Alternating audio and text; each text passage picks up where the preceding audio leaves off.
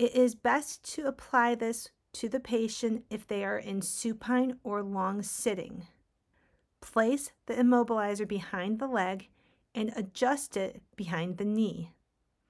If the immobilizer has removable or adjustable stabilizer bars, place them medially and laterally along the long axis of the leg.